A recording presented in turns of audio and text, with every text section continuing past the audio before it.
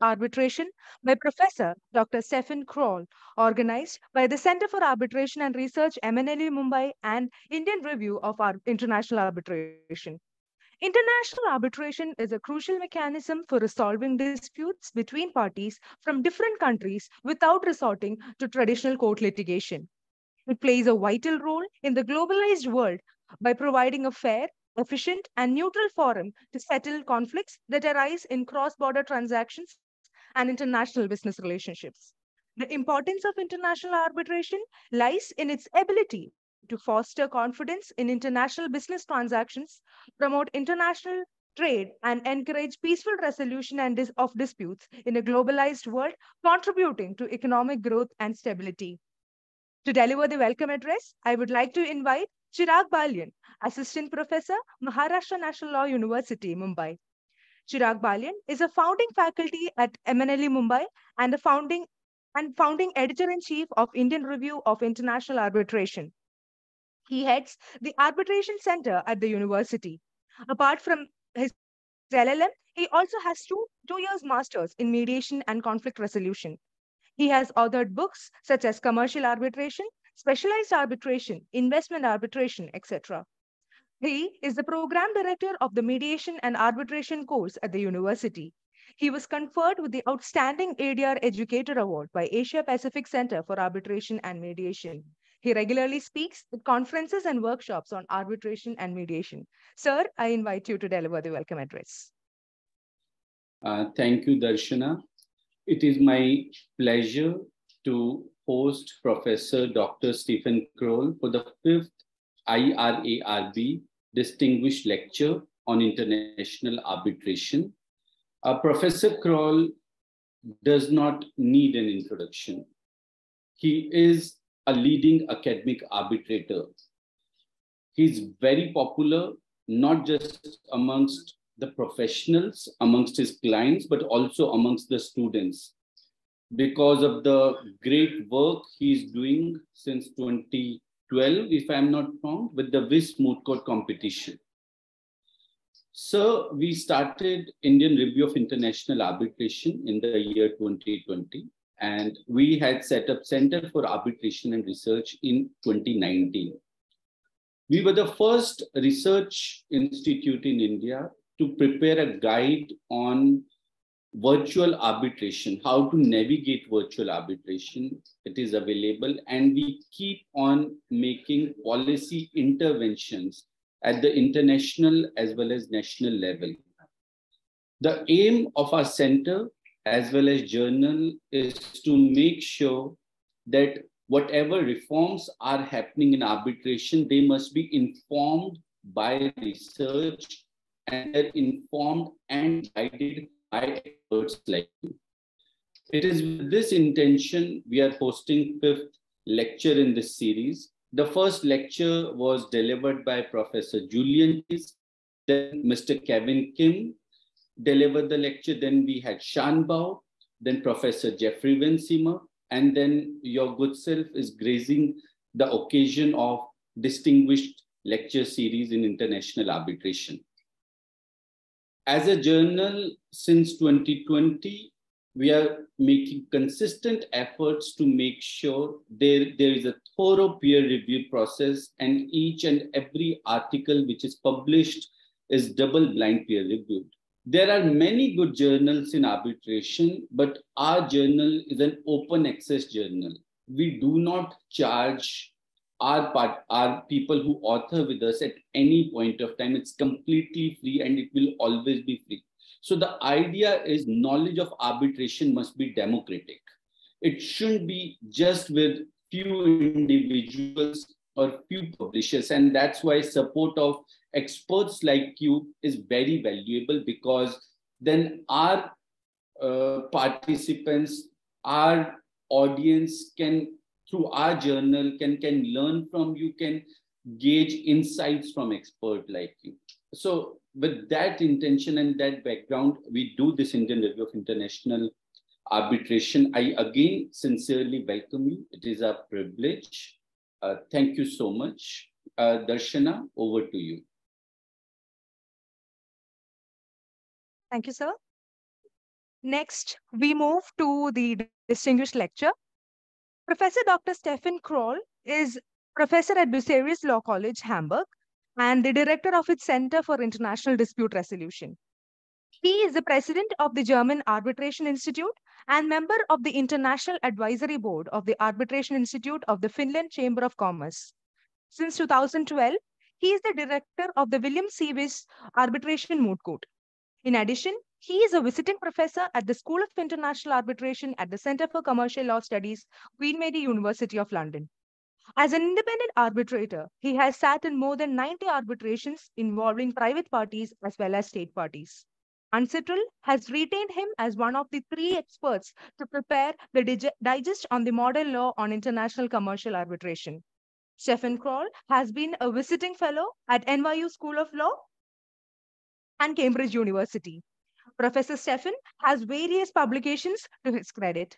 Sir, it's a pleasure to have you here with us today, and I, leave, I uh, request you to address the participants.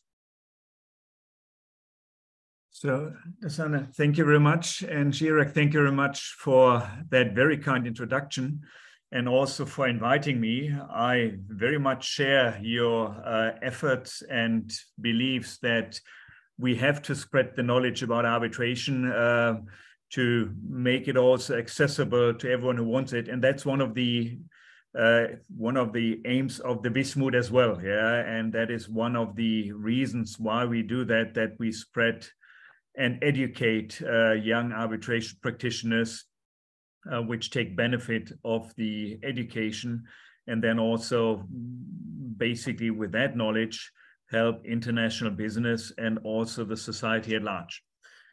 So let me share my screen with you uh, if that works. Um, today's topic, I hope you can see it. I see you nodding. Okay. Today's topic is arbit corruption arbitration proceedings, the past, the present, and the future. When I selected that topic, the first thing I was did, I went to my private library and had a look what was already written on the topic. And that is just the books I found in my private library. I'm not talking about the university library of the last six years. So you can see the relevance of the topic. Uh, when we start with the first one, Kathrin Betz, it was from 2017, has a text of 330 pages. Then the other two from this year, um, Emmanuel Obiora I hope I spelled uh, pronounced the name correctly, 360, and Yagmo Hotoglu, 622 pages. So there's a lot to be said about corruption and arbitration. And uh, I was now had the choice of what do I do with that lecture? Do I say very much about basically nothing, or do I say nothing about very much? And I hope I found um, an option to have it a little bit of both, say a little bit about a lot of things.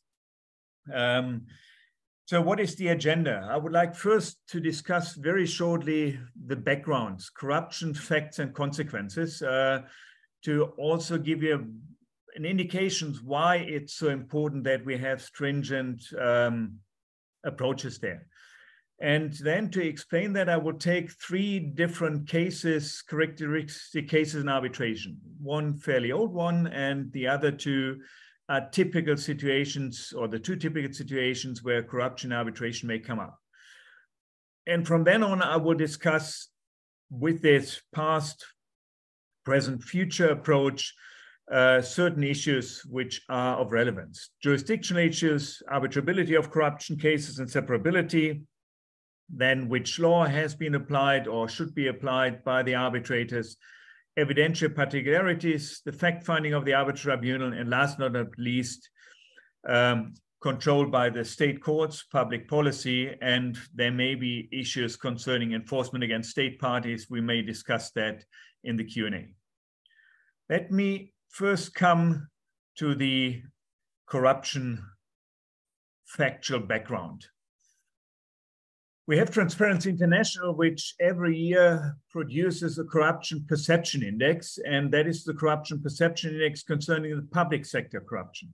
So I'm not talking about private sector corruption uh, with that map, it's just the public sector corruption.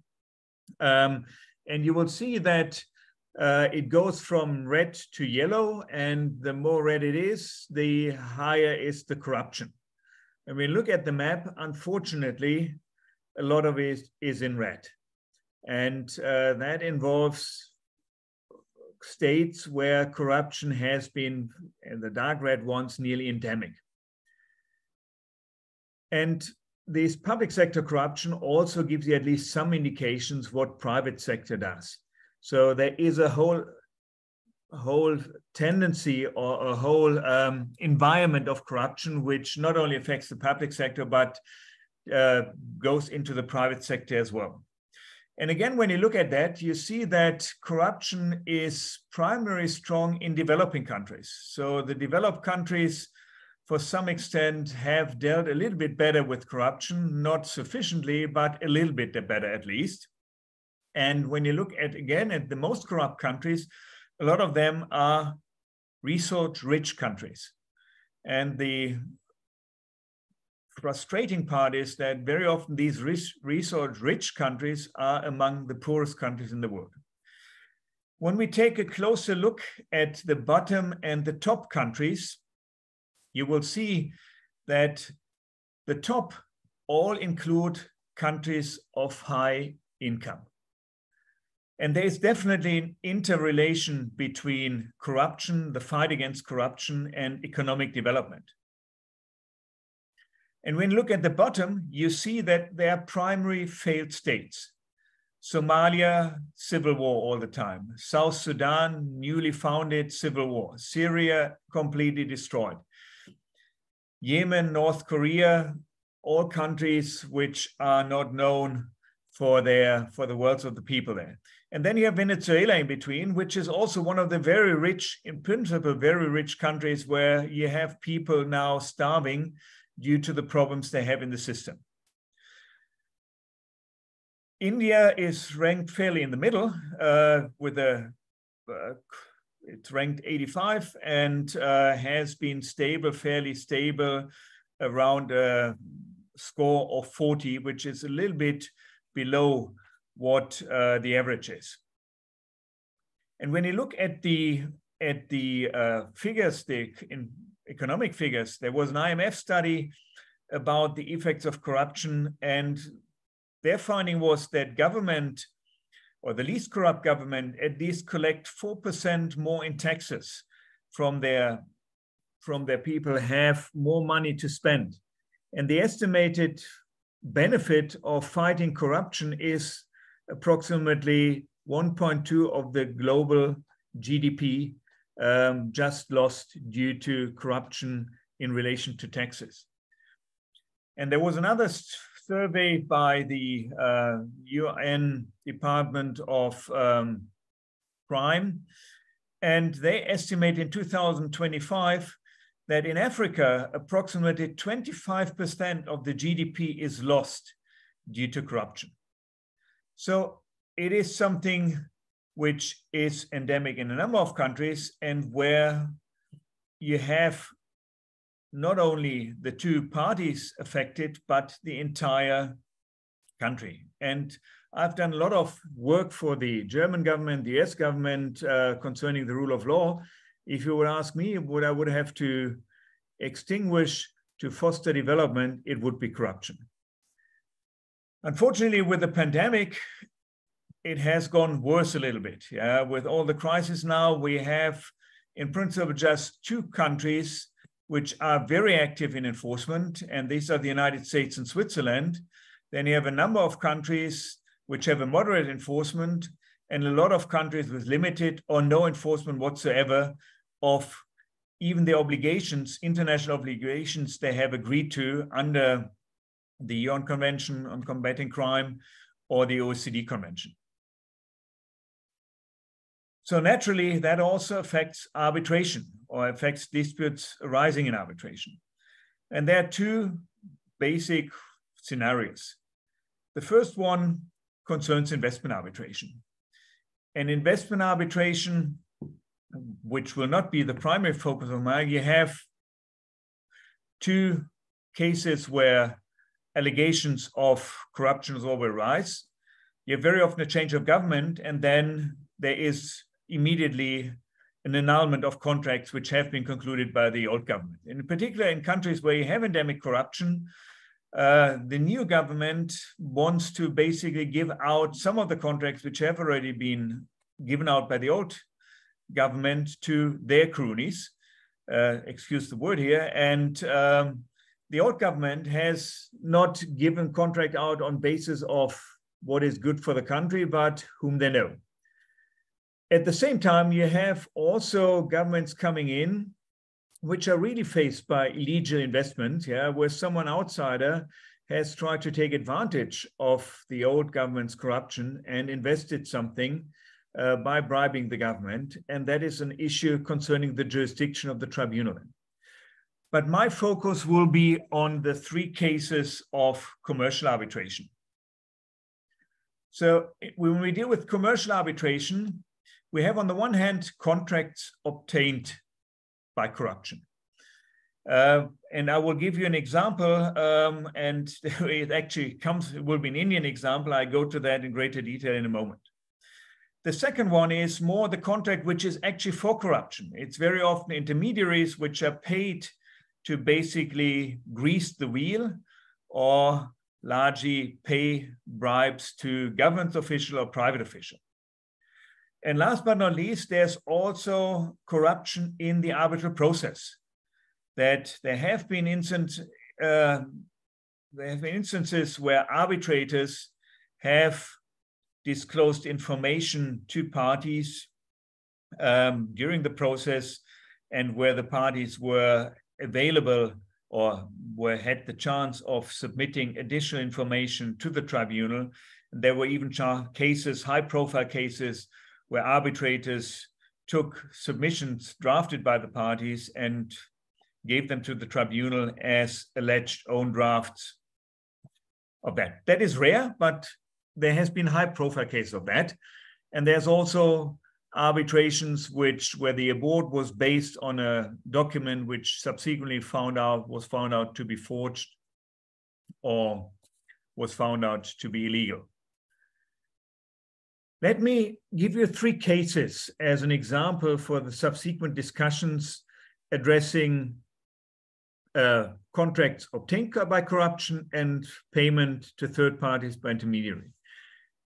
And they are very good. They provide you with scenarios uh, which show also a little bit the development, what happened. And let me start with the earliest one. And nearly every lecture, book, whatever on corruption starts with that famous ICC case by Judge Lagergren. And in that case, there was ICC case number 1100 from 90, where the decision was rendered in 1963. We had a company in the UK, a mother company, they had a subsidiary, and they approached uh, Mr. X in Argentina for power generation projects. And he was fairly closely connected to the then Peron government in 1950 and agreed to support um, the British company in their efforts to get that contract. Both projects in which he was involved didn't work out. Then where the, Peron, the government of Mr. Peron was overthrown in 55.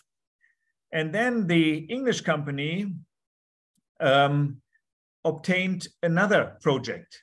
It was the mother company which formed a joint venture with other companies, and they obtained in 58 a large project of 23 million uh, plus uh, pounds, British pounds. That project has been much larger than the previous projects, but Mr. X, in the meantime, no longer in Argentina because he was very close to the uh, government of Mr. Peron, and fled the country, wanted to have his share on that one. And he alleged that under the contract, the agency contract, as it was called, uh, he was entitled to the share. And that is famous because Judge Lagergren approached it from an approach we wouldn't take today. But it's also famous because a lot of the findings of Judge Lagergren, you could, could subscribe to them today, and the problems have not really changed too much. And I just want to quote one part of that from Judge Lagergren in the arbitration uh, initiated by Ms. Sachs. He stated concerning the consequences of that, that the amounts paid have a destructive effect on the business pattern and the consequence impairment of industrial progress. We were talking about Argentina there, which after the Second World War was one of the richest countries in the world. By now, they're basically stumbling from one insolvency to the next one. And that is in part due to the endemic corruption they have in that country, and the corruption very often fostered by governments which try to protect themselves and basically make sure that when they're in power, they get their share. The second case is a much more modern case, and it concerns the same type of contract. And it's the case between Alexander Brothers and Alstom. Um, and here we had again a consultancy agreement submitted to Swiss law and providing for arbitration in Geneva, which Alstom concluded with Alexander Brothers for three railway project in China. In the end, all three contracts were awarded to Alstom. And don't get me wrong, I'm not saying that every consultancy agreement or every agency agreement is involving bribery, because a lot of these cases, a lot of these contracts, you need someone on, on the place to tell you how to operate, how to submit your tender documents, what is required. And it's a normal normal feature of business that you rely on people on the ground in particular countries. So Alexander Brothers was supposed to be one of those. And what happened then was Alstom had two previous agreements with them, which didn't materialize. The third one materialized then.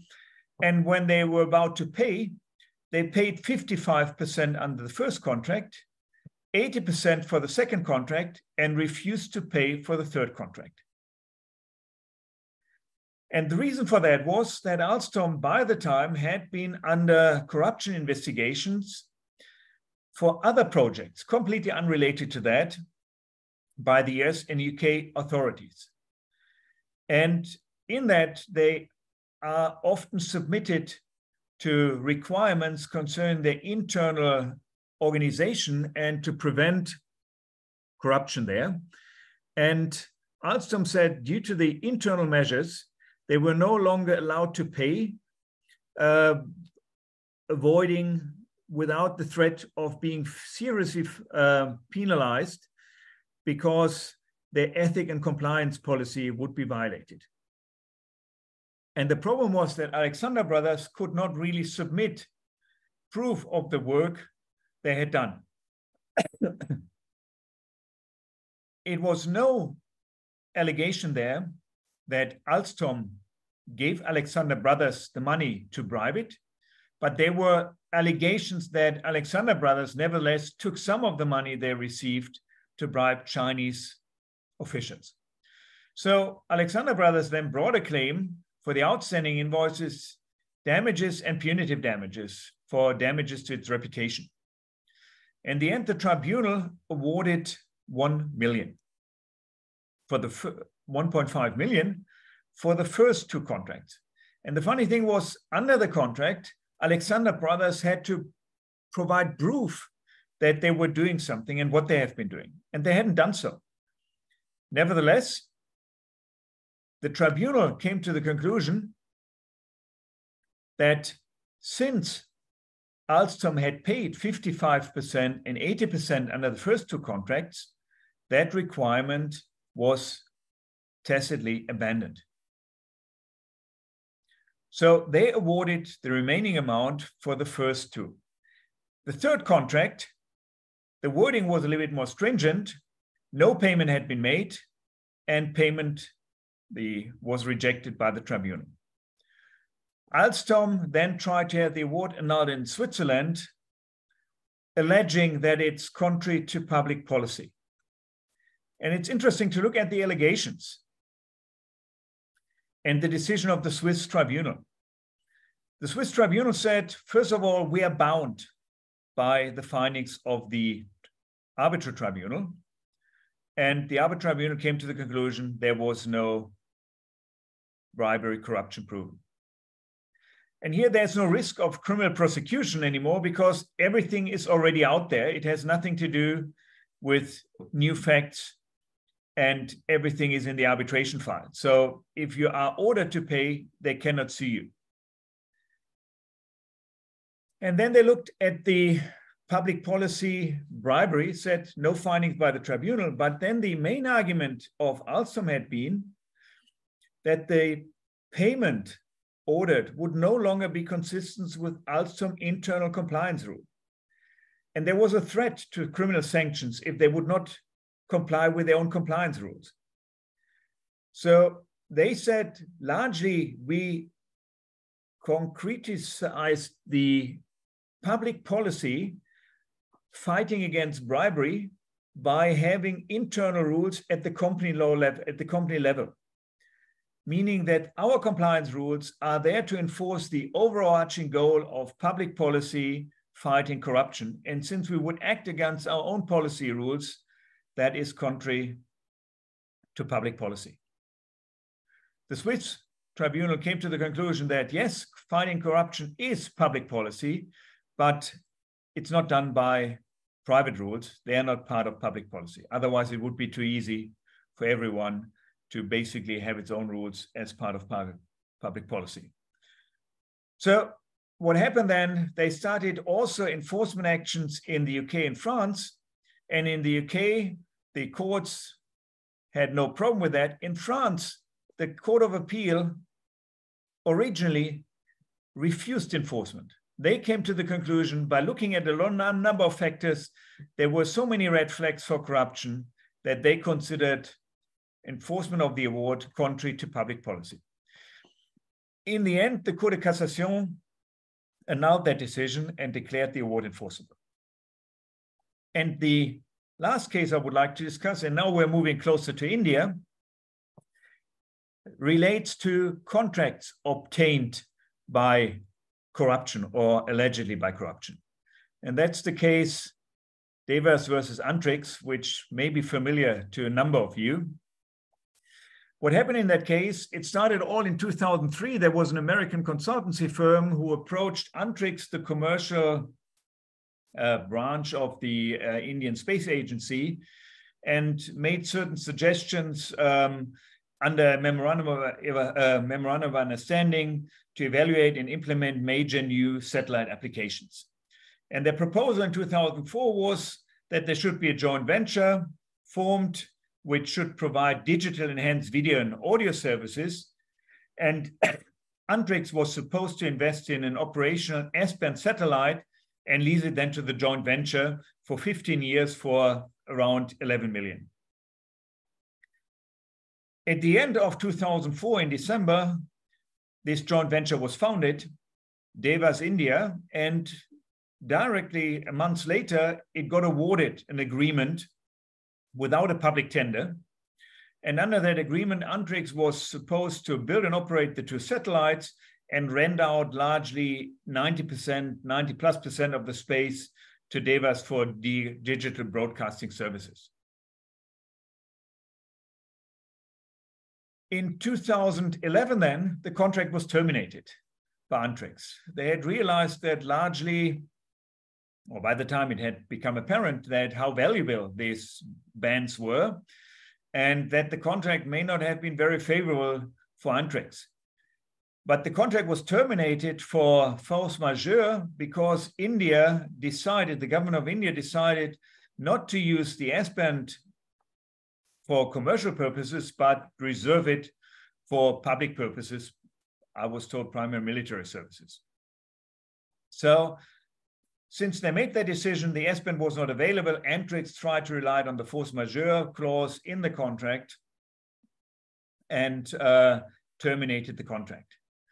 As a consequence, Devas then initiated arbitration proceedings, ICC arbitration proceedings after the termination, and in the end got awarded uh, 562 million US dollars uh, in an ICC award of 2015. However, by 2015, also the Indian authorities had started investigating into Devas, and that investigation led to a first report in 2015 where it was said that Devas was set up for fraudulent purposes.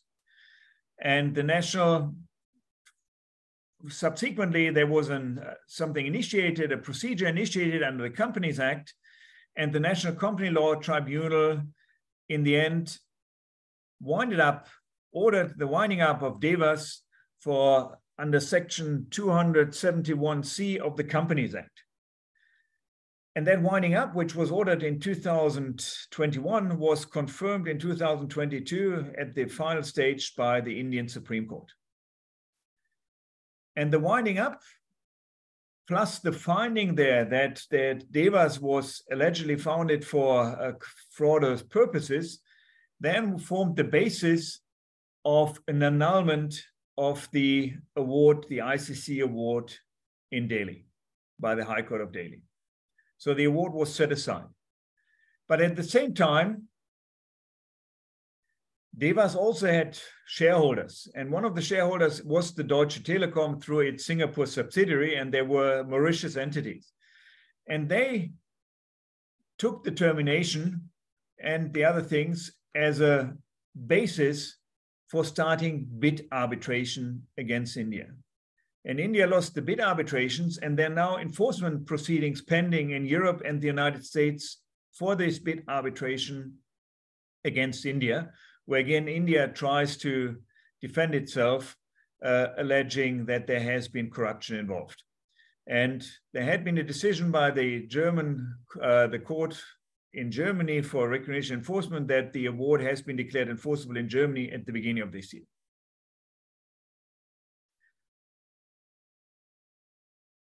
So these are the three cases. Now let's go to the question, what does corruption, how does corruption affect arbitration?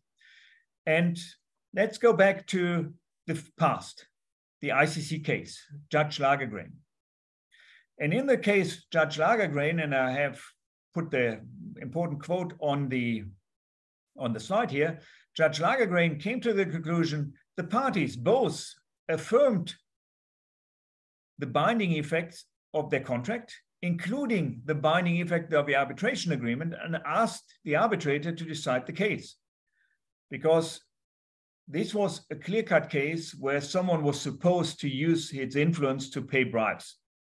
So the parties had an interest also to have that dealt with in arbitration and not by a state court out in the public.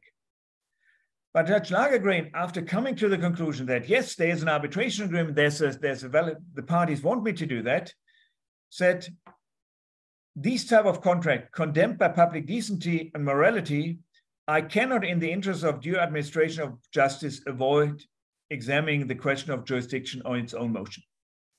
So though his jurisdiction was never challenged, he said, as an arbitrator, I have to act on my own motion and look at my jurisdictions. And then he came to the conclusion that parties who ally themselves in an enterprise of the present nature, meaning trying to bribe government officials, must realize that they have forfeited any right to ask for assistance of the machinery of justice in settling their dispute. So in principle, he said, these type of disputes are not arbitrable. You cannot bring them to arbitration. That was a unique statement because since then, I'm not aware of any case where an arbitrator, first of all, looked at its jurisdiction on its own motion, though none of the parties challenged its jurisdiction, and then came to the conclusion these cases are not arbitrable.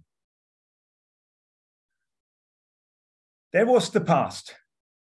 In the present, the attack is not so much on the arbitrability of a dispute. It's now largely accepted that fraud disputes can be arbitrated, but it's more on the validity of the arbitration agreement.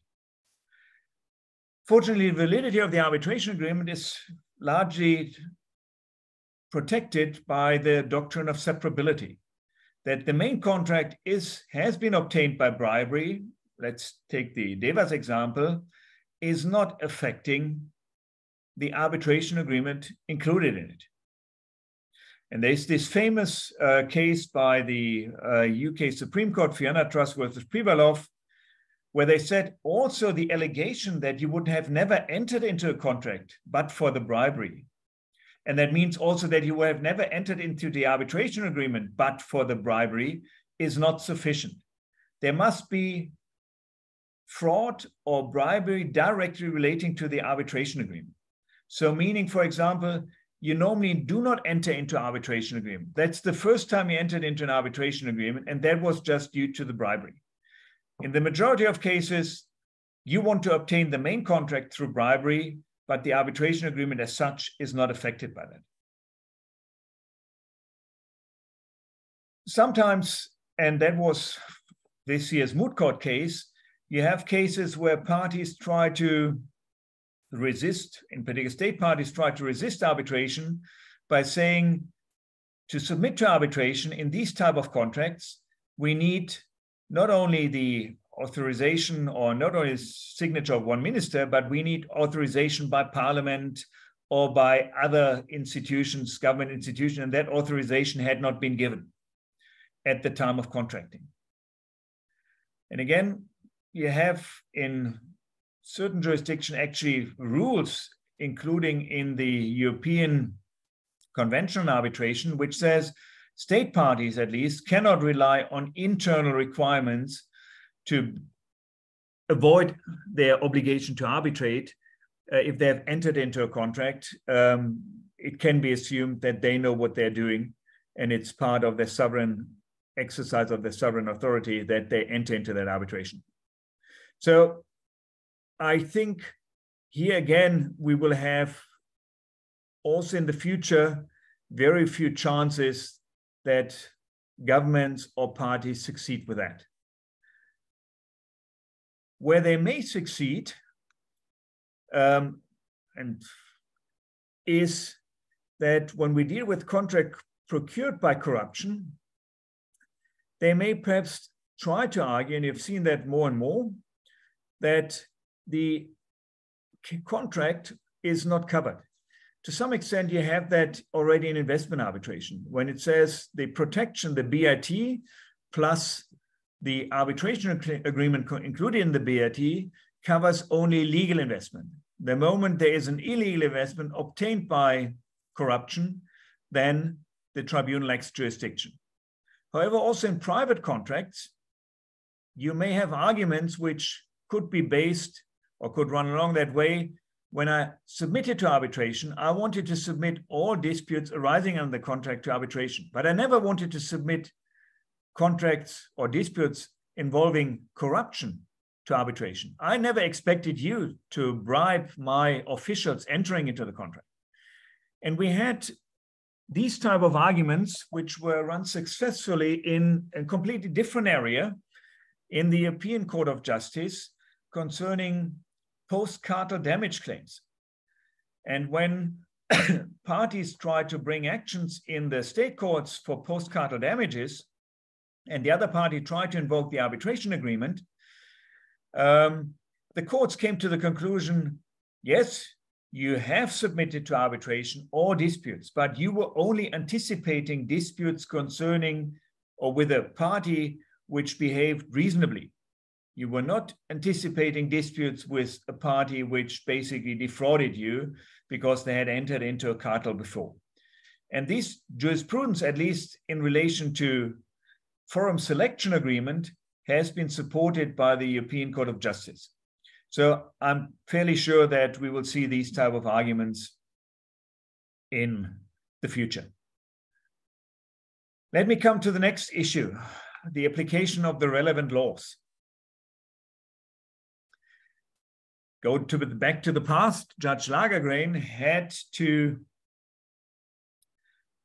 deal with the issue because the parties also said you cannot refuse jurisdiction because that the offense, the bribery would be against foreign public policy, but not against French public policy.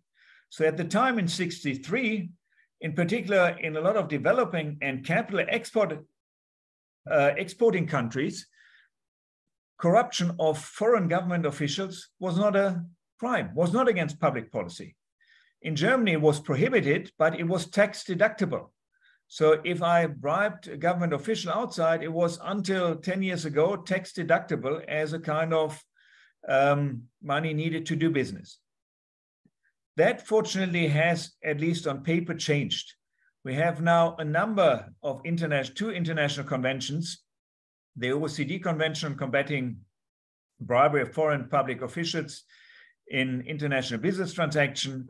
We have the UN Convention Against Corruption from 2003, and we have a number of national laws. And perhaps you remember that I said one of the very few countries strictly, very strictly enforcing anti bribery laws is the United States, which was also one of the first countries which had a Foreign Corrupt Practices Act. And that is really a major sword. And funnily enough, under these and comparable acts, for example, FIFA was prosecuted and Blatter had to leave the head of FIFA uh, because of this act. India also has a prevention of prevention of corruption act since 1988, and also the UK Bribery Act, which is also a very strict one, was initiated in 2010. So, in principle, you can say we have now transnational principles that we agree all that corruption of government officials, but also of private parties, is against public policy. And then you remember Alstom had to implement own rules at the company level. And very often these own rules are basically forced upon them due to actions by the enforcement authorities under the US Foreign Corrupt Practice Act or under the UK Bribery Act. They were the one who imposed not only a fine upon Alstom, but also requested them to have that policies. The problem, however, is that bribery clearly is contrary to public policy. But most of the cases are at the borderline of consultancy agreement, ordinary consultancy agreement, like in the um, Alstom case, or trading in influence. And also, trading in influence may not be prohibited everywhere. So, you hire someone for his or her good connections with the government so where does trading in influence end and where does bribery start? And where does that deviate from ordinary consultancy agreement? So you also hire a consultancy firm, local consultancy firm for its connections in that jurisdiction. So there is a line which is the line which will be now and in the future be probably one of the main battlefields in arbitration for arbitrators. And it's becoming one of the more, it is one of the main battlefields because, and now I'm coming to the one of the most important parts, the evidentiary problems we have here. Again, looking back at Judge Lagergren at the past when he said, describing that, said, as might be expected, the documents drawn up seem on their face to be legal, an ordinary agency agreement, and be the semblance of ordinary commercial documents. And here he came to the conclusion said, yes, he may have had certain functions, but the general image is that here we have someone who was hired to pay, to receive money and to pay to government official. But that is never clearly spelled out. They all look on their face to be legal and semblance ordinary commercial documents. So, as an arbitrator, it's very difficult to rely on documents, to rely on something in writing. So there are a number of problems you're facing today, and you will also probably face in the future. The first one is the difficulties in proving that there was actually fraud or corruption involved. That's normally a secret activity, and you don't have documents. So there's no direct evidence available. You may have to rely on indirect evidence, certain red flags, and we come to that in a moment. On the other hand, allegations of corruptions are a serious crime. So you allege that someone invo- was involved in serious criminal activities. And normally, whenever you try to penalize someone for criminal activities, the standard of and the proof is fairly high. So we have an issue there, and let me go to that in a moment. The second issue is the burden of proof. There, it's not so difficult. It's still the party who invokes corruption who has to prove it. There is no change in the allocation of the burden of proof. However, there may be alleviations in the burden of proof under burden of proof rules. So, for example, it is very difficult for someone to prove that something didn't happen. So, you may ask the other party to actually allege that there had been a payment made and then require the other party to say or to bring proof because they are having or in a better possession to deal with that, that no such payments were made. And then coming back to the first thing I mentioned, the standard of proof. Um, there, there are arguments fighting for a lower standard, problem with no direct evidence available, and there are arguments in favor of a high standard. It's a serious allegation, close to a crime. And last but not least, you may have different standards by the different courts. Uh, they apply, and courts will have to ask yourself, what is the standard of my conviction here? So when we look at that, look at the standard of proof, which is one of the crucial issues. You have the 50 50.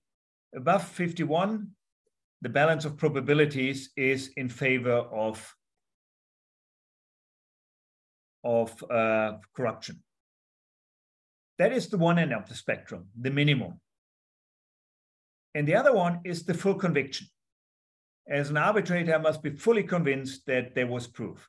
And in between, you have a number of other ones in private issues, but in criminal cases, you have even beyond reasonable doubt because it is a criminal case and the standard may be higher.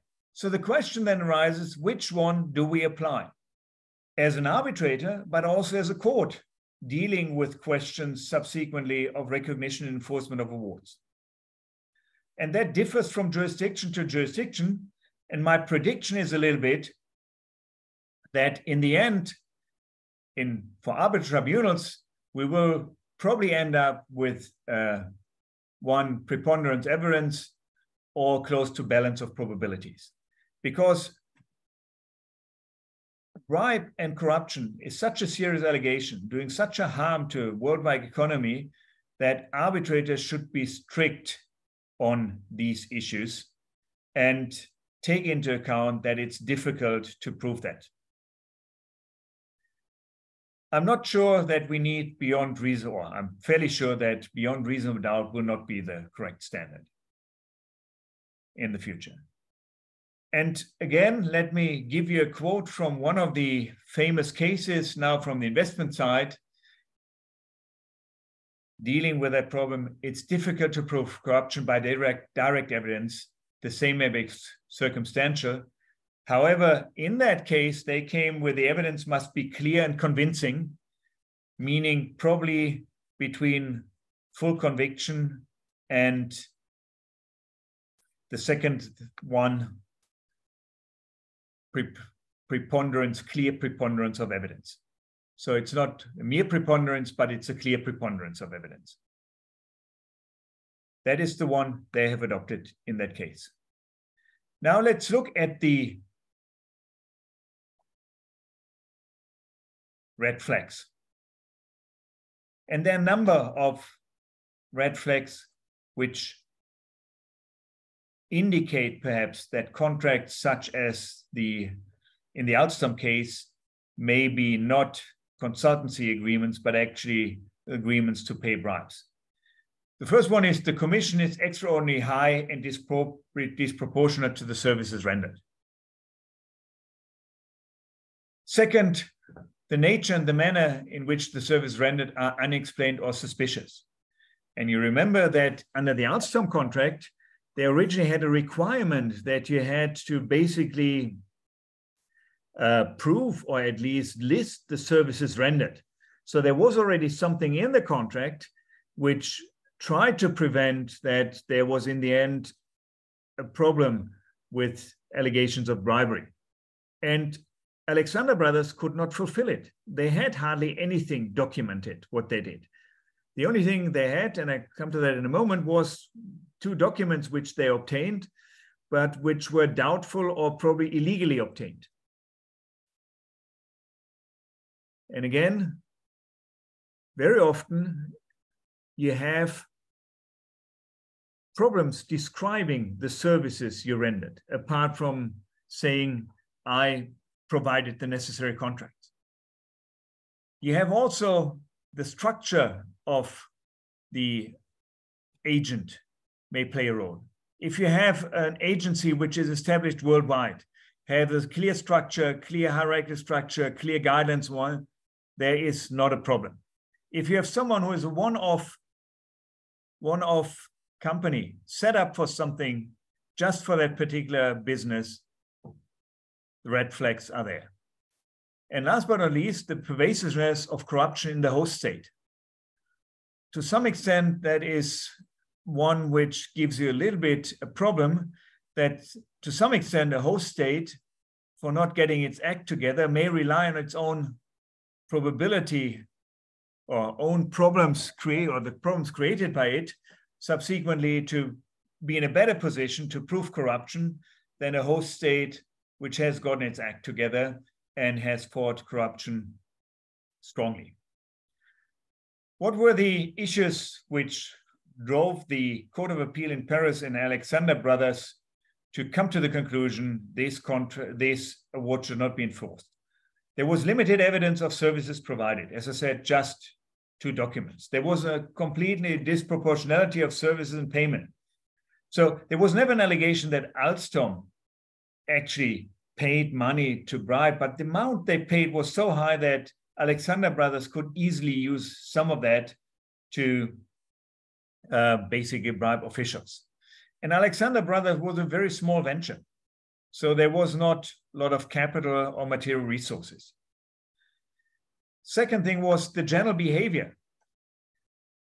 Alexander Brothers was not considered to be someone who always stuck to the law. The same applied to Alstom.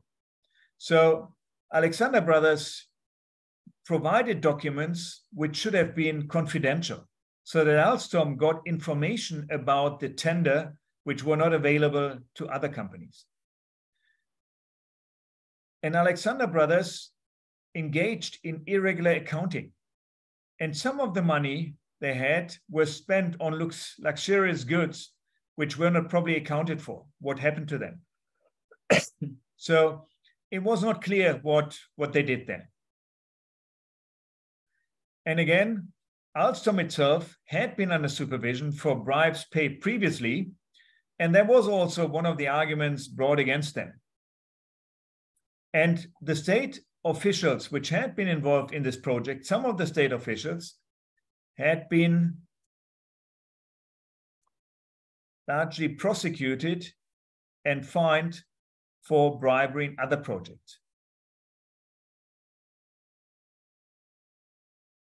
So, in particular, in these last things, you always have to balance, in my view, that you should not be entitled to rely on your own behavior but that has be to be balanced against the public interest in effectively fighting corruption.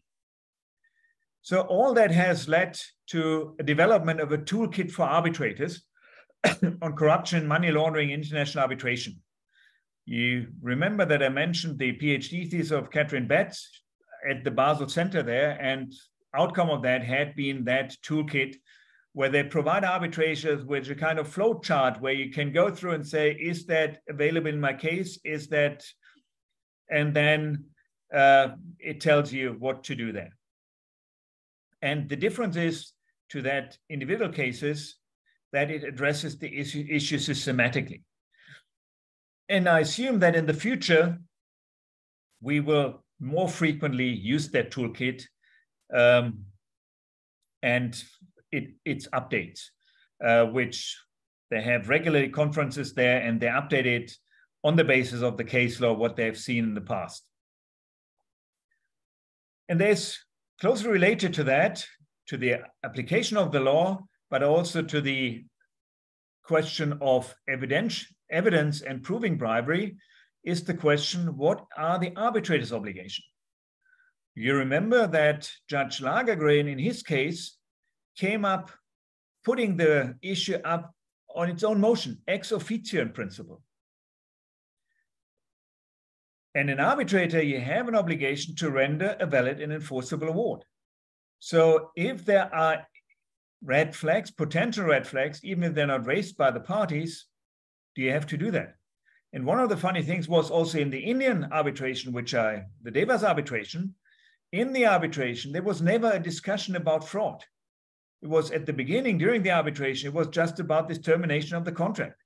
The allegations of fraud only came at the post award level, yeah, and shortly before the award was rendered, we had the first report by the investigation office in in um, India. So, do you have a duty to examine ex officio and apply mandatory provisions of the law, even if that law has not been chosen? In my view, in the future, we should move to that, that you look into that. But then we have another step. Once you have found that out, you can always, if the parties are not willing to do that, you can may step down as an arbitrator if you're not willing to engage into or being involved in these type of activities if you're uncertain about that. Because in the end, you have to rely on what the parties provide you with. You have no uh, police powers to request documents which are not provided to you and which are not requested by the other party you cannot force, you have no sovereign powers to force witnesses to come, whatever. So then you have a conflicting obligation from the arbitrator's contract and the duty to inform authorities. And depends a little bit how you see your role as an arbitrator. Do you see your role as an arbitrator primarily as someone hired by the parties to solve their dispute? Then you may step down, but that's it. Or that you see the role of you or your role as an arbitrator as a judge in international business. Arbitration may be the backbone of international business. And as a judge of that, you have to fight, or you may have to fight corruption. And then there may be an obligation to inform the government of authorities if they're not already informed about certain issues. It's not so much bribery, it's very much involved, very much uh, money laundering where that plays a role. And now let me come to the last stage, the post-award control by the state. Um, there are a number of issues there. You have first procedural issues. You have very often time limit for annulment actions, and sometimes the bribery is only proven after the uh, uh, period has expired. And sometimes you have also estoppel for new arguments. So arguments which could have been raised in an arbitration and were not raised may no, later not be raised in enforcement or setting aside proceedings. It's clear that there is no review on the merits, but it's also clear that there's always the exception of public policy. And I've included here a quote from one of the famous cases of World Duty Free versus Kenya corruption is contrary to international public policy of most, if not all states, or to use another formula, to transnational public policy. I think that is already at present beyond doubt and in the future will definitely be the relevant standard. However, looking at the various contracts and looking also at some of the cases we have seen in the past, you may, when we deal with corruption, we may have a difference. Uh, if we have contracts which are clearly made for corruption, like the Judge Lagergren contract, or if we have contracts where we have just a contract which was obtained by corruption. And then we may have differences whether corruption was already the pre-conclusion phase, meaning I bribed someone, or whether the corruption basically took place at the post-conclusion phase when it's concerning the performance of the contract and other issues. There may be there may be relevant considerations for tribunals, but primarily for courts at the post-award stage. And when you look at the jurisprudence, you have some indications of that, that the Alstom courts looked into these questions and said there had been no intention, definitely no intention by Alstom. At least what has been alleged is that subsequently the Alexander brothers used the money they obtained by the contract to bribe the uh, Chinese officials. And there's another question which may arise, and again, which may also come up in the future. Again, Judge Lagergren in the past said, however, before invoking good morals and public policy as barring parties from recourse to judicial arbitrary instances in settling their dispute, care must be taken to see, to see that one party is not thereby enabled to reap the fruits of its own dishonest conduct by enriching itself at the expense of others. He was looking at that from the jurisdictional side. But again, let's assume for a moment that in the Alstom case, the contract was really concluded between Alexander Brothers and Alstom to bribe Chinese officials. Now, Alexander Brothers brings a claim for payment of the money due under that contract. Alstom invokes it, but Alstom has benefited from that contract already. Due to that contract, they have received what they wanted. They have re received the three Chinese contracts. So now preventing, or basically ordering, or preventing payment there, Alstom is benefiting from its own con conduct, which is immoral. And there's an issue where which we have to address in the future as well. How do we deal appropriately with that? Primarily, probably through state sanctions there. But on the other hand, and that is something when we look at also the state, the last point I wanted to mention, the standard of review, you have to keep one thing in mind. The allegations of corruption and bribery may also be an easy way for parties to get out of contracts they're unhappy with.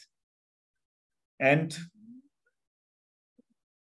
looking at the Devas Zurich's case, when you look at some of the allegations raised subsequently, uh, the fraud allegations, whatever, to an outsider not involved in that case, the Devas operation may have been perfectly fine. A new company, special purpose vehicle set up for one particular venture there with in the back shareholders who have been doing that business all the time. Deutsche Telekom is operating these type of services in Germany and other jurisdictions. Yeah, so one of the central arguments in the Devas case was Devas was a company which was not existing at the time. They entered into this high value contract, provided promised its services they could not render because they didn't have the means and the facilities. But if the subsidiary can bring the means and facilities easily, you have to ask yourself, whether that is not okay. So there is an issue here in, in that regard. And when you look at the standard of review, which is also one of the issues which we're discussing presently, is as a court, are you engaging in a full review? And I think we have now reached a standard that, at least according to the application of the law, you engage in a full review. But the most important part, and that comes back to the issue of evidentiary problems, is what happens to the determination of facts? Do I engage in an entire de novo review or am I engaging only in a limited review? Limited review, and if I engage in a limited review, what type of limitations are there? Can I only look at the facts once more if I prove that the arbitral tribunal violated procedural rules in establishing the facts? Or can I look also into the facts if there are other indications that arguments may not have really evaluated properly by the arbitral tribunal. There would be a number of other issues which I could discuss. What happens with the related belated discovery? We have a tendency now to allow revisions. That means, yes, we have on the one hand the principle of res judicata of awards, but we have now in Swiss arbitration law a provision, clear provision, which says whenever there is evidence found of bribery subsequently, you may review the decisions rendered in the enforcement section or in the setting aside proceedings. And the new German law is also discussing including comparable things. But even if you don't have it included in the law, there's an interesting decision by a German court where they looked the provision of substantive law to basically force a party to hand out or to give out or basically return the award it has received. And they relied on that. And the provision says a person who, in a manner contrary to public policy, intentionally inflicts damages on another person, meaning I basically concealed documents, I defrauded the arbitrators by not providing proper documents, and thereby brought inflicted damages on the award debtor because they couldn't prove that bribery, that gives me a claim under substantive law for return of the award to me and thereby making it non enforceable. And as I said, there is also the issue because very often states are involved, but that is definitely too important for short treatment at the end. That is for an entirely different uh, lecture. Thank you very much for your attention. Uh, thank you so much, Professor Kröll, for an interesting lecture. It was very engaging. Uh, so maybe as an organizer, let me take the benefit of asking question first. uh, you mentioned about burden of proof, standard of proof, uh, something between beyond reasonable doubt, uh, but less than full conviction. And then there was this also case where the standard of proof was clear and convincing. Usually a very high standard of proof we use in criminal cases. So the argument in favor of using high standard of proof is that there are allegations which are of criminal in nature. But arbitrator is not investing, investigating those allegations. Ultimately, arbitrator is deciding whether there is a remedy to be given under the contract or not. His decision will be on the contract whether one party is entitled to the remedy or not entitled to the remedy. So if that be the case, shouldn't the standard of proof be still balance of probabilities? as I said, I'm clear that beyond reasonable doubt is not the relevant standard for these type of um, right. of allegations. Yeah, they're serious allegations, but as you rightly said, we are not in a criminal case. Yeah, um, and we also do not have the investigative powers which the authorities have. Yeah, which deal with the criminal cases. So balance of probabilities means 51%.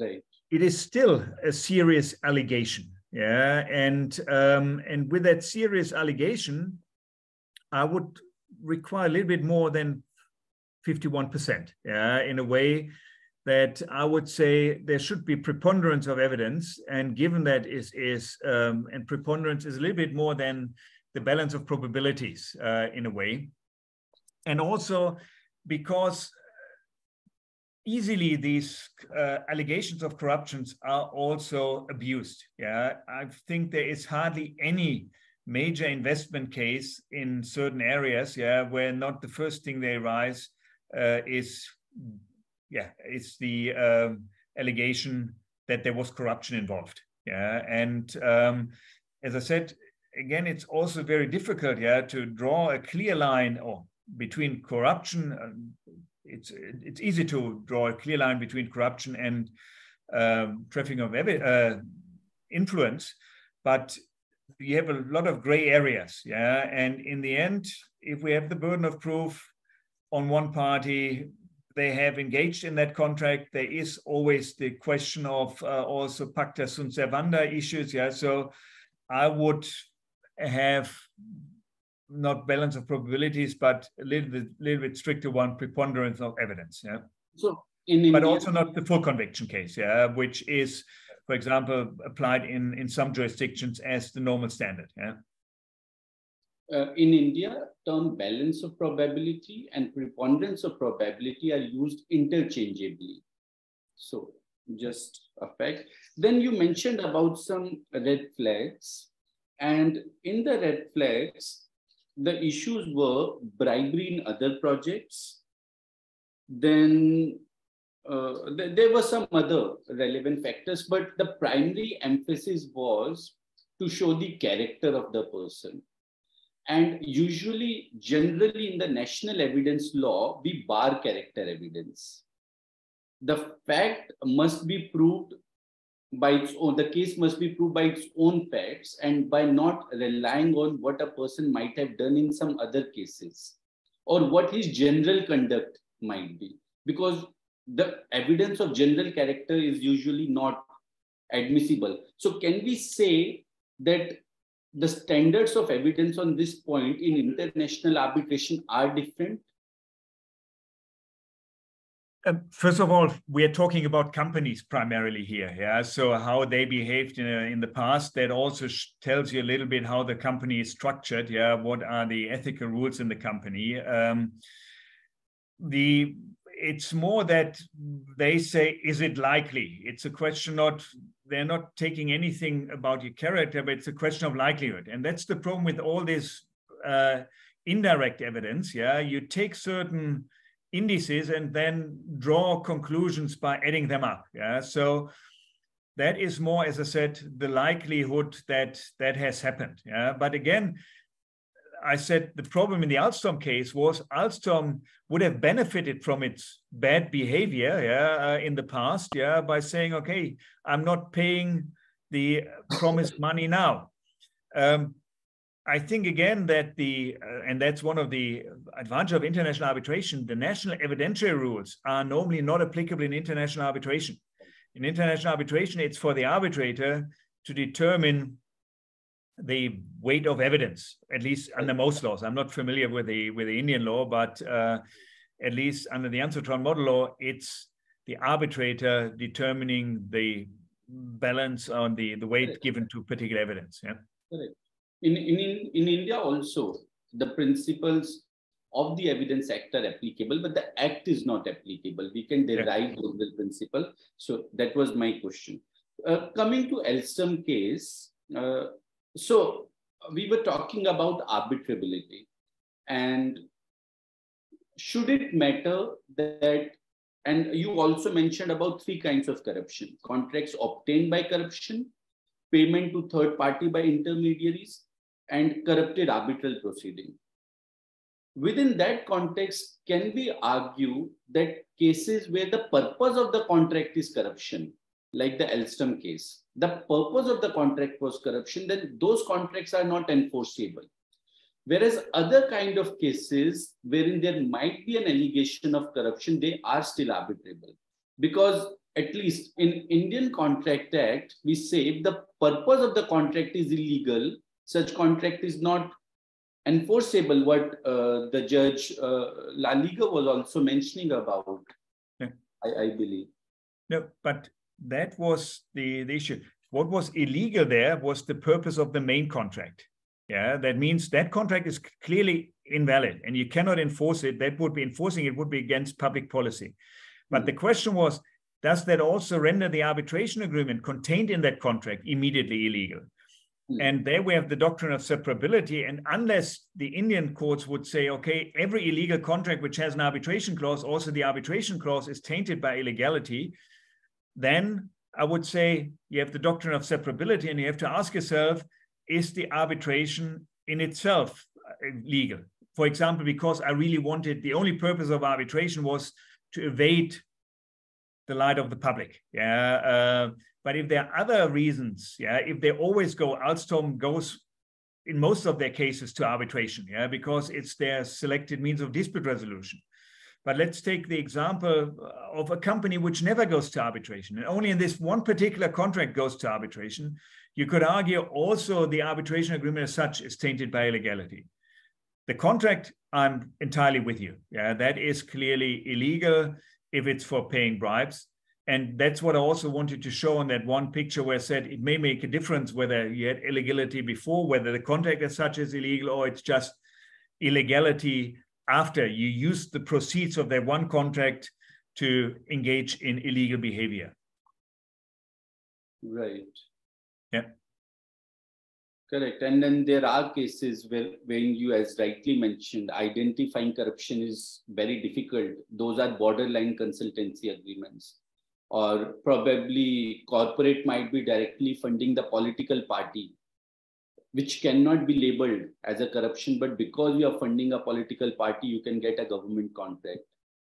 That, uh, that is one of the really problematic issues there. Yeah, on the one hand, and also with the when we look at the the um, financial and personal resources of an entity, yeah, if I have two very influential people, yeah, if I have, for example, let's take a name Elon Musk, he gets other things done by himself, yeah, by having him as my uh, basically agent Then, if I have an entity uh, with 300 people who don't know the right persons. Yeah, so also that is as they're just right flags, which on the other hand makes arbitration so interesting, yeah, because then it all depends on on the arbitrator to some extent, yeah, um, how they deal with these red flags and how they deal, um, what experience they have in these type of jurisdictions. Right. Uh, my last question is: You mentioned about duty to inform authorities. Uh, you, you kind of raised a question, and in UNCITRAL model law, as well as Indian Arbitration Act, uh, Article 27 talks about court can take, uh, arbitrator can take assistance of court. Can we say, or can we at least try to bridge this argument that I'm, I'm just taking the assistance of the court, and then the court can take necessary action as far as corruption is concerned? In, in such kind of matters? That would be the easy way out, yeah, in a way where I say, okay, as an arbitrator, I have sometimes investigative powers as well. Yeah. So if the parties allege something, yeah, and under some laws, I have as an arbitrator, I can request the court, please help me with that. Yeah. And with that request, already indicate there is an issue here, and then leave it to the court to inform the criminal, uh, the prosecution offices. Yeah, um, that is definitely something, but also something as an arbitrator you have to take into account. Yeah, whether you're not, if that is the sole purpose of your request to the court, whether that is not a breach of your arbitrator's contract. Yeah, and as I said, that is also a very open field. Yeah. What is the role? How what? How do you see your role as an arbitrator? Yeah, uh, do I have I'm clearly not a judge in a particular state, but do I have a kind of obligation towards the international community? And we had that discussion, for example, with the binding, uh, with the uh, in investment arbitration. What is the purpose of an investment award? Am I just deciding that particular case, or am I developing also the entire system of uh, investment protection? And again, I have to write, put in different considerations into my award this takes us to which theory of arbitration or school of arbitration you, you subscribe to. Yeah. Yeah. So let, us come to question and answers in the Q&A box. Uh, would you also like to pursue yourself? Um, yeah, first question is, what are the acts of corruption in international arbitration by Mrinalini? So how do we define corruption? Complicated question. I would just try to rely on the various definitions you, find in the in the um, in the statutes and other things which you have to apply. Uh, um, as I said, let's in principle already take the uh, trading in influence. In some jurisdiction, that is clearly prohibited, yeah, because they have a serious problem with corruption and you don't you're not even allowed to have consultancy agreements if you participate in a public tender. Yeah, you have to sign that you have no there's no consultant involved, whatever. It's just you. And um, but there is no generally accepted corruption. Yeah, for me, corruption is in principle you pay someone for something uh, that he does something which would he would not do yeah without that payment uh, and which is contrary to his obligations otherwise existing yeah right uh, i think muhammad faisal's question you have already addressed during your lecture the question yeah. is if the parent contract is obtained by corruption and it's void ab initio what is the point of establishing tribunal jurisdiction on that contract and what will be the role of tribunal if the contract is itself void? The tribunal will determine whether the contract is void. Yeah, that is one of the issues which is always controversial. There's always the mere fact that someone brings an action shows that this party believes the contract is valid and gives it a claim. So that is what you get the tribunal for, yeah, to determine whether the contract is void, whether corruption has existed. Yeah. But I'm glad that some people always, always also speak German. He starts with Guten Tag. Yeah. yeah. So Mrinalini, she again asks a question which was indirectly addressed by you. How do we establish legal and factual causation in the absence of established procedure of evidence in arbitration?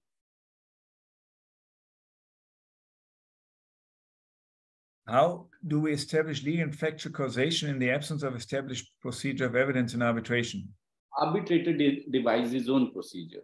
Yeah, that's to some extent uh, follow best you, have, and you rely on on on what you're trained in, yeah, and uh, that's also in principle everyone is influenced a little bit by its own legal system, yeah, and. Uh, so you're trained in the Indian system. Probably you approach a dispute slightly different than I would approach it. Yeah, being trained in the German system. Right. Mm. Uh, being a serious allegation, if not proved, does it amount to defamation? In principle, I would say yes. Yeah. Uh, if you normally the parties are happy if they are done with it. Yeah. Uh, but in a lot of these cases, yeah, uh, you see the full arsenal. Yeah, uh, that you see criminal cases initiated you have uh, Interpol search, uh, Interpol warrants against against investors, whatever. Yeah. So when you, in particular, when you're involved in investment arbitration, yeah, sometimes looking at what the states do also to investors, yeah, it's reads like a crime story. Yeah. So yeah, in my view, alleging that someone engaged in bribery is a serious allegation and would, in my view, justify defamation. Right. If done so in public. Think, uh, uh, the next question, anonymous question, you have uh, addressed it while discussing with me. Uh, whether arbitration act excludes evidence act. So, and yeah. there are more and more questions flowing, and that's why while drafting it, do we need to specifically draft the detailed clause relating to this issue? Is it a best practice to address corruption related issue in the arbitration agreement itself? I, I would be surprised if one of the my counterparties in an, uh, contract negotiations suggests that we include arbitration or we exclude it. Yeah, um, that could also also be something. Yeah, if you want to say uh, I'm I I'm not dealing with corruption cases in in arbitration, then you have to exclude it. Yeah, that's a little bit the uh, jurisprudence there of the European Court of Justice in these anti um, uh, in these post cartel damage cases where they said. In the end, arbitration, you make a deliberate decision to submit certain disputes to arbitration.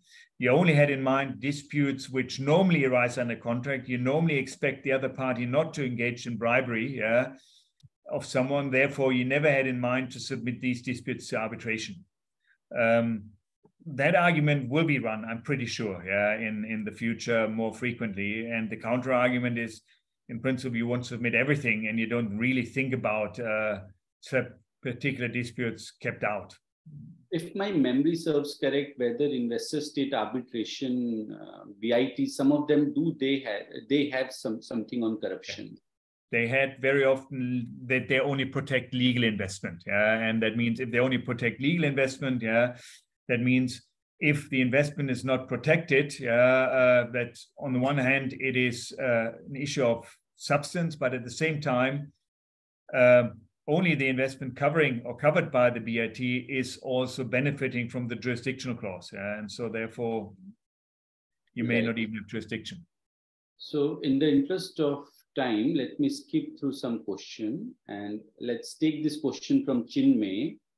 Thank you for this lecture, Professor. My question pertains to the corrupted arbitrable proceedings. Please do correct me if I'm wrong at any point, but there have been speculations that in some international commercial arbitration, interested third parties indulge betting on the outcome of arbitration. Could this be considered as part of the corrupted arbitrable proceeding? And if yes, what can be the toolkit for arbitrators to deal with such case?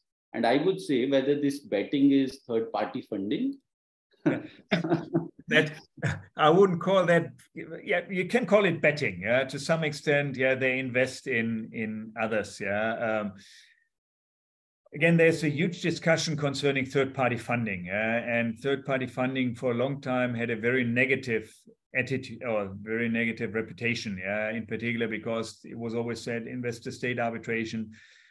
Uh, to be honest, I don't think that is justified. Yeah? Um, we are now presently discussing third-party funding uh, in consumer cases, yeah, due to access to justice issues. And in my view, the, the cases I have seen, yeah, I've I've been involved in cases where the third-party funder got it wrong. Yeah, uh, and they withdrew within with the middle in the middle of the case. Yeah, they withdrew, no more funding. Yeah, uh, and you knew from that time onwards, okay, there is a serious issue here in my view, you have they're the only persons who have only a financial interest in the outcome yeah, of a case. And the financial interest involves not only you have to win the case, but also in the end, you have to be able to enforce it subsequently. So they're looking at that without any emotions, just money wise. And if they come to the conclusion, say, we want to invest it, there are a number of issues. I remember we had five, six years ago, we had uh, the issue of third-party funding in the Wismut case. And we had a conference in, in Hamburg discussing third-party funding. And it was all about access to justice. And my wife, she's an accountant. Yeah, she was coming to that conference there as well. Was sitting in the in the lecture, and in the end, she came to me and said, "Why why do you only talk about that? Uh, for me, that is just ordinary risk hedging in a company. Yeah? I have a certain risk. I have a litigation arbitration risk, yeah, which I want to hedge, even if there's no no um, access to justice involved. Even as a major company, if you say an arbitration may cost me 25 million, I may want to hedge against that risk. Yeah, uh, and that standard risk. So there are different things. I wouldn't be as critical. I wouldn't consider third-party funding as a corrupt practice. Naturally, you also have cases where the third party funder may be involved in a case, yeah, which in the end is a based on a corrupt contract. But they may be, they also have to rely most of the time on the information they get. And they make a decision, say there is no corruption, yeah, because normally the claimant is not alleging corruption. Corruption only comes in when the respondent brings its defense, or perhaps the respondent in the course of an arbitration finds out that there have been payments made which are unexplainable whatsoever. Yeah? Right. Uh, can we indulge with you for five more minutes and take one or two more I'm, questions? I enjoy teaching and I enjoy answering questions. Yeah. So yeah. So Kostub has an interesting question which he has posted at least six, seven times. What happens when there are allegations of corruption and crimes against humanity in a case being heard at International Criminal Court and a key witness involved in an arbitration process is affected by these allegations, will the arbitral tribunal halt the proceedings? That's a very easy question. It depends. Uh, so it really depends on the allegations. It really depends on the issues.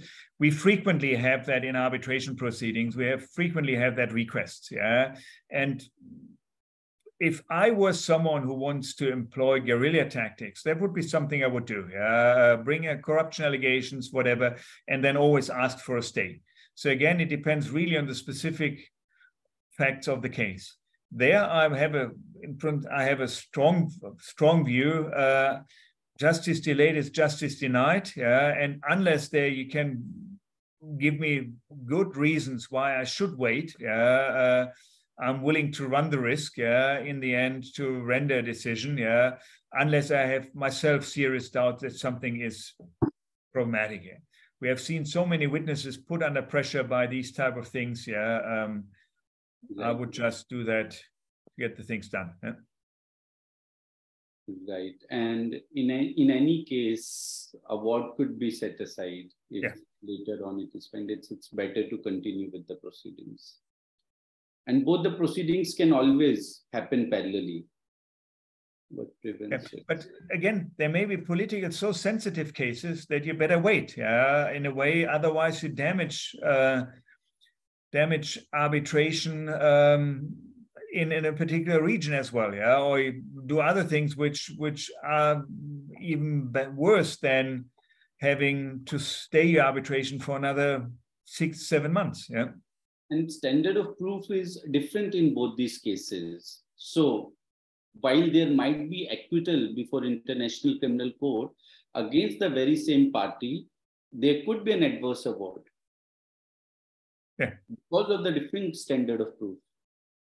Uh, so then the question is about the red flags you mentioned. And one of the red flag was pervasiveness of corruption in the host state has it ever been referred to formally by a tribunal in its award? I would be surprised if not. Yeah, I've seen a number of cases where it was raised and where it definitely had influenced the tribunal in its award, but that they say that is the crucial evidence or whatever. Yeah, it's it's one of the factors resulting in the decision. Yeah, in some of the decisions, uh, the world, the Kenya, yeah, duty free thing, yeah, they are clear about the level of corruption in Kenya. Yeah, and um, in fact, there are many investor-state arbitration involving Latin American countries. Yeah, uh, Mexico, Argentina, wherein these kind of references have been made. Where does toolkit derive its authority from so that there are better chances of enforcement? Um, then may have been misunderstood. For me, it was just a question of um, how do we improve the approach of an arbitrator? Uh, uh, if you have a piecemeal approach of all arbitrators, I know a number of cases, you know a number of cases, someone else knows a number of cases. If we have a group which have put these cases together, yeah, and has a much broader view on certain things and has developed that into a systematic approach. And they really have a flow chart, yeah, where they ask you several questions, um, which you should go through to determine whether there's corruption or not. I think that improves the result. And if I, in the end, can say I have, as an arbitrator, right in my award, according to the various points I've looked at, yeah, uh, I have uh, not found any corruption. That may influence also subsequently quoted as setting aside an enforcement stage saying, okay, there's someone who has taken the allegation of corruption seriously and has gone through all that, yeah, and has seen all the witnesses and has done what could be done, yeah. So I may be more willing to trust that person that also they evaluated the evidence provided in a proper way. Right. I, I think we will just take last two questions. Uh, one is corruption tainted awards. Should national court take a tribunal finding at face value or should it investigate further to come to its own conclusion? And that's one of the, uh, the, the problematic parts. For me, if there are allegations, serious allegations of corruptions, and there are um, uh, also arguments that they have not been raised before the tribunal, uh, whatever, I would say a court should go get engaged in that, yeah, because that is such a serious allegation. In principle, I would, however, say if we have arbitrators who have evaluated all that, addressed that properly in their award, uh, I would have a certain trust in that they get it done properly. Uh, so, but again, it's a question, it depends. I would not say that the courts are prevented in looking at the facts again, but I would uh, expect them to do that if there's a serious allegation and their grounds why they have the impression that the arbitrator got it somehow wrong. Right. And the last question, which I would like to take is what happens when there are allegations of corruption? No, no, not this one. Uh, sir, some time ago, read about EU countries amending their energy policies in regard to climate crisis. This has created conflicts with foreign investors in this area. Are member nations obliged to review and review an arbitration award in this sector? That's one of the most controversial issues. If you would ask me, I would say arbitration has protected the fossil industry, but it's now protecting primarily the investment uh, in renewables. When you look at the cases, yeah, uh, the majority of cases brought over the last six years is renewables. Yeah, uh, governments having uh, not lived up to their promises for investors on renewables. Um, in my view, uh, the European Union has a is damaging the international system by trying to get out of these these awards. Yeah. Um, whenever you look at the whenever you look at it from the perspective of European law only, there's a hierarchy that European law is above everything. Yeah.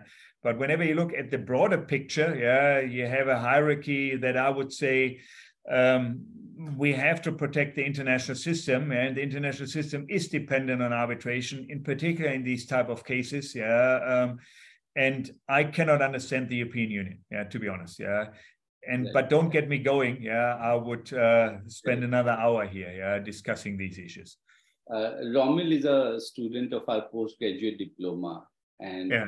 by background he's a journalist yeah. so yeah.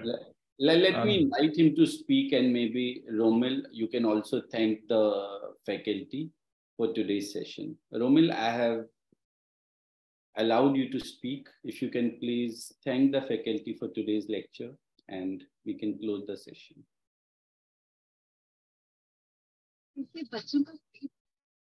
Yeah, uh, hello, am I audible? You are audible. You're audible, yeah. Uh, uh, sir, uh, Stefan sir, uh, this was indeed a very, uh, personally, I would say very fulfilling session uh, because uh, as uh, Chirag sir said, I am not a lawyer. I don't have a law background, but uh, yes, I, uh, as a journalist, I've covered a lot of international events. And so this was the back of my mind. Uh, so having said that, I think as a vote of thanks, I would like to thank you on behalf of NLU Mumbai and uh, it was indeed a pleasure having you on. I hope we can uh, uh, have a similar session with you sometime in the near future. Thank you, sir. Have a good day. Good Thank you very much. And thank you very much for inviting me and for staying on for so long. Yeah. Pleasure. Thank you so much, Professor Stefan Darshana. Would you like to say a final bye to sir from your side?